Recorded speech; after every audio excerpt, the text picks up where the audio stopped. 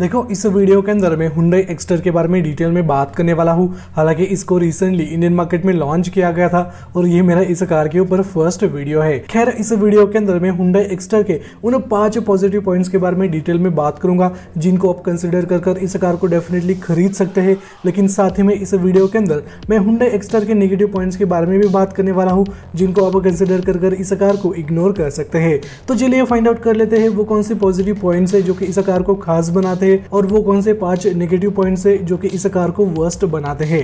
लेकिन वीडियो में आगे बढ़ने से पहले यहाँ पर एक छोटी सी रिक्वेस्ट करना चाहूँगा। आगे जाकर अगर आपको ये वीडियो अच्छा लगता है तो ज़रूर इस वीडियो को लाइक कर देना और अभी तक आपने चैनल को सब्सक्राइब नहीं किया है तो सब्सक्राइब करके बेल नोटिफिकेशन को ज़रूर कर लेना।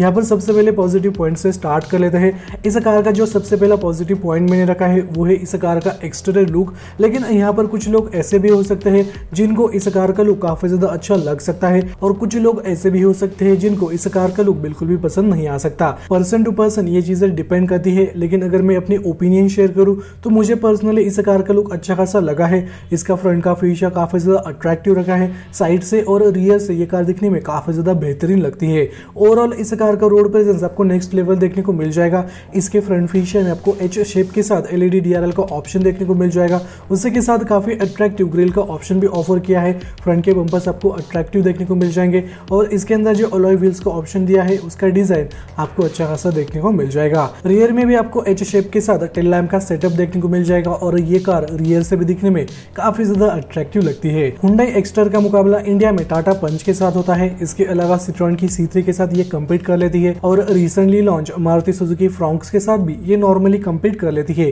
क्योंकि प्राइसिंग के हिसाब से आपको मतलब कंपेरिजन देखने को मिल जाएगा। वैसे सेगमेंट थोड़ा सा अलग है, लेकिन कुछ लोग इन दोनों ही कारों को कंपेयर कर लेते हैं। इन तीनों में से आपको किस कार का लुक सबसे अच्छा खासा लगता है, मुझे कमेंट सेक्शन में ज़रूर बता देना। जो दूसरा पॉजिटिव पॉइंट है, जो कि हुंडई एक्सटर को यूनिक बनाता है, वो है इस कार का इंजन और इस कार के अंदर जो ए ट्रांसमिशन ऑफ़र किया है, वो दोनों ही चीज़ें इस कार को यूनिक बना देते हैं। हालाँकि इसका जो ए ट्रांसमिशन है, वो आपको डेफिनेटली अच्छा खासा एक्सपीरियंस देने वाला है गियर शिफ्टिंग के दौरान। इसके अलावा यहाँ पर आपको कोई भी जर्क फील नहीं होगा, कोई भी आपको लैग फील नहीं होगा as compare to Tata Punch या फिर बाकी कंपेटिटर कार्स तो ये एक पॉजिटिव पॉइंट आपको हुंडई एक्सटर का देखने को मिल जाएगा। लेकिन इस कार के अंदर 1.2 litre four cylinder naturally aspirated petrol engine offer किया है, जिसके तहत आपको 83 पीएस की पावर आउटपुट मिल जाएगी। अब यहाँ पर आपको फोर सिलेंडर इंजन का ऑप्शन देखने को मिल जाएगा।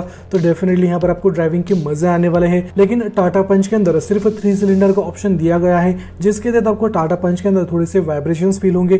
कुछ लोगों को इसका इंजन नॉइज़ भी सुनाई देता है। इसके अलावा वहाँ पर ड्राइविंग के मज़े आपको थोड़े से कम देखने को मिल जाएँगे। तो इंजन के बारे में ये चीज़ें सामने निकल कर आ जाती है, लेकिन यहाँ पर एक चीज़ मैं आपके साथ शेयर करना चाहूँगा। अगर आपको टाटा की पंच लेनी है या फिर आपको हुंडा की एक्स्ट्रा लेनी है तो इन दोनों ही कारों को खरीदने से पहले दोनों ही कारों का टेस्ट ड्राइव आप ज़रूर लेना, ताकि आपको एग्जैक्ट आइडिया आ जाएगा कि यहाँ पर किस कार के अंदर ज़्यादा पावर है, कौन सी कार लैग करती है गियर शिफ्टिंग में, वहाँ पर आपके सभी डाउट क्लियर होने वाले हैं। नो डाउट हुंडई का एमडी ट्रांसमिशन काफ़ी ज़्यादा अच्छा होता है, वहाँ पर आपको बिल्कुल भी लैग फील नहीं होगा। तो वहाँ पर हुंडई की एक्स्टर आगे निकल जाती है, लेकिन जो थर्ड पॉजिटिव पॉइंट है जो कि हुंडई एक्स्टर को नेक्स्ट लेवल पे लेके जाता है, वो है इसके अंदर सीएनजी किट हालाँकि एक्स्टर के अंदर आपको सीएनजी किट का ऑप्शन देखने को मिल जाएगा, जिसके तहत आपको लगभग 27 के आसपास आराम से माइलेज देखने को मिल जाएगा और आज के डेट में टाटा पंच के अंदर आपको कोई भी सीएनजी किट का ऑप्शन देखने को नहीं मिलेगा। आने वाले समय में डेफिनेटली टाटा पंच के अंदर सीएनजी किट ऑफ़र किया जाएगा, लेकिन अभी तक ये चीज़ें क्लियर नहीं है कि टाटा कंपनी पंच का सीएनजी मॉडल कब इंडिया में लॉन्च करने वाली है। तो फ़िलहाल के लिए आपके पास सिर्फ़ एक्स्टर ऐसी इकलौती चॉइस है। अगर आपको ज़्यादा माइलेज चाहिए। आपका रन ज़्यादा है, आप काफ़ी ज़्यादा गाड़ी चलाते हो ऑन डेली बेसिस तो उस केस में आप एक्स्टर के सीएनजी मॉडल को डेफिनेटली कंसिडर कर सकते हैं। इसके सीएनजी मॉडल को खरीदने के लिए आपको लगभग आठ लाख रुपए के आसपास पैसे देने पड़ेंगे और उस प्राइस रेंज में आपके पास और भी ज़्यादा ऑप्शन मिल जाते हैं। जो फोर्थ नंबर का पॉजिटिव पॉइंट है, जो कि हुंडई एक्स्टर को और भी ज़्यादा यूनिक बना देता है, वो है सेफ्टी फीचर्स इस कार के अंदर आपको छह एयरबैग्स का ऑप्शन देखने को मिल जाएगा और हुंडई कंपनी ने ये चीज़ एज अ स्टैंडर्ड प्रोवाइड करी है, यानी अगर आप बेस मॉडल के साथ भी जाते हो तो वहाँ पर आपको छह एयरबैग्स का ऑप्शन देखने को मिल जाएगा। तो ये एक पॉजिटिव पॉइंट है इस कार का। इसके अलावा इस कार के अंदर आपको थ्री पॉइंट सीट बेल्ट का ऑप्शन देखने को मिल जाएगा और ये चीज़ हुंडई कंपनी ने पाँचों ही सीट्स के ऊपर ऑफ़र करी है। तो ये भी इसका एक पॉजिटिव पॉइंट बन जाता है। आइसोफिक्स चाइल्ड सीट माउंट का ऑप्शन आपको देखने को मिल जाएगा। एबीएस के साथ ईबीडी ये फीचर भी ऑफ़र किया है। इलेक्ट्रॉनिक स्टेबिलिटी कंट्रोल का फीचर आपको देखने को मिल जाएगा। व्हीकल स्टेबिलिटी मैनेजमेंट ये फीचर ऑफ़र किया है। हिल होल्ड असिस्ट ये फीचर आपको देखने को मिल जाएगा। रियर पार्किंग सेंसर्स और रियर पार्किंग कैमरा भी दिया हुआ है और इसके कैमरा के अंदर आपको डायनामिक गाइडलाइंस का ऑप्शन भी देखने को मिल जाएगा। तो ये एक पॉजिटिव पॉइंट आपको इस कार का देखने को मिल जाएगा और टाटा पंच के अंदर आपको कोई भी कैमरा का ऑप्शन देखने को नहीं मिलेगा। तो टाटा पंच का वो एक निगेटिव पॉइंट बन जाता है और हुंडा एक्सटर का ये एक पॉजिटिव पॉइंट बन जाता है।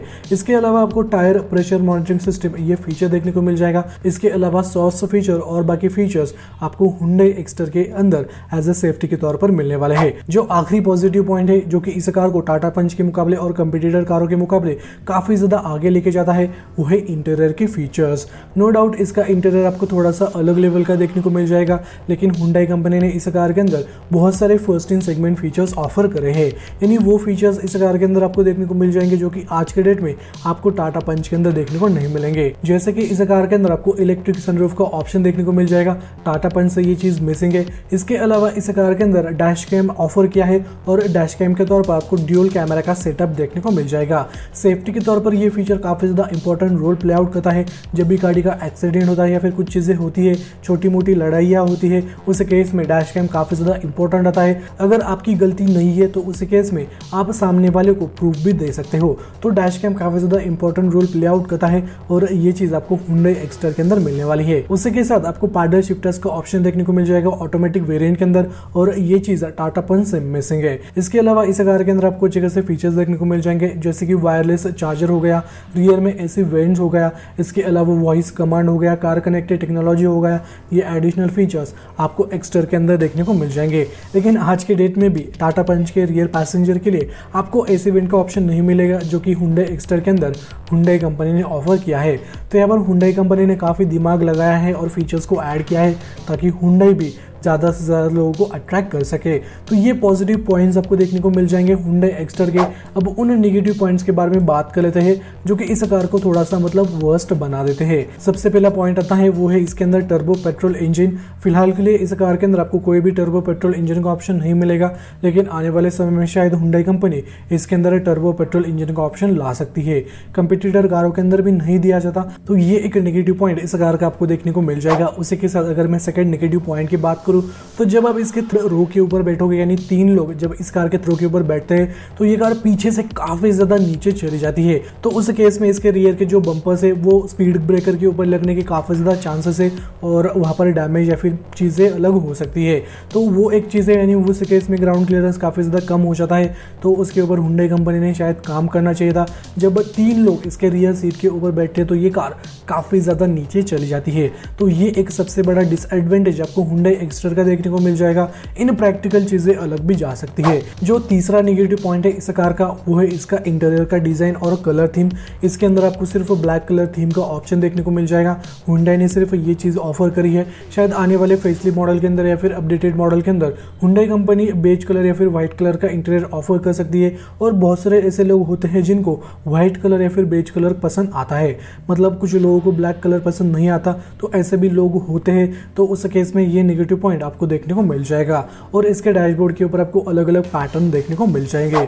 जो फोर्थ नंबर का नेगेटिव पॉइंट है, इस कार का, वो है एवरेज साउंड क्वालिटी हालाँकि क्वालिटी इतनी अच्छी नहीं है, मैंने इसके बारे में रिव्यूज़ पढ़े हैं क्वालिटी और भी ज़्यादा बेटर हो सकती है। लेकिन अगर आप इसके बेस मॉडल को खरीद रहे हैं, या फिर सेकेंड बेस मॉडल को खरीद रहे हैं तो उस केस में आप आफ्टर मार्केट म्यूज़िक सिस्टम के साथ जा सकते हैं, जहाँ पर आपको म्यूज़िक क्वालिटी अच्छी खासी देखने को मिल जाएगी। और जो लास्ट नेगेटिव पॉइंट है फिफ्थ नंबर का नेगेटिव पॉइंट है, वो है इसकी build quality no doubt Tata Punch के अंदर आपको काफ़ी कम फीचर्स देखने को मिल जाएँगे, लेकिन बिल्ड क्वालिटी के मामले में Tata Punch hundred and one percent Hyundai Exter के काफ़ी ज़्यादा आगे निकल के चली जाएगी. टाटा पंच को सेफ्टी में फाइव स्टार रेटिंग्स मिले हैं और एक्सटर का अभी तक क्रैश टेस्ट नहीं हुआ है. जल्दी से जल्दी वो हो जाएगा और हमें पता नहीं कि इसकी बिल्ड क्वालिटी कैसी है. लेकिन बिल्ड क्वालिटी के मामले में मेरे हिसाब से ये टाटा पंच को बिल्कुल भी मात नहीं देगी. इसके बारे में आपको क्या लगता है? कॉमेंट सेक्शन में ज़रूर बता देना। तो ये पाँच नेगेटिव पॉइंट्स थे जो कि मुझे पर्सनली लगते हैं और पॉजिटिव पॉइंट्स भी मैंने आपको बता दी है। अगर मेरे से कुछ चीज़ें छूटी है तो वो चीज़ें आप मुझे कॉमेंट सेक्शन में बता सकते हैं। या फिर अगर आपको किसी और टॉपिक के ऊपर वीडियो चाहिए तो वो चीज़ें भी आप ज़रूर बता सकते हैं। वीडियो अच्छा लगा हो तो ज़रूर इस वीडियो को लाइक कर देना। अभी तक चैनल को सब्सक्राइब नहीं किया है तो सब्सक्राइब करके बेल नोटिफिकेशन का ऑन ज़रूर कर लेना।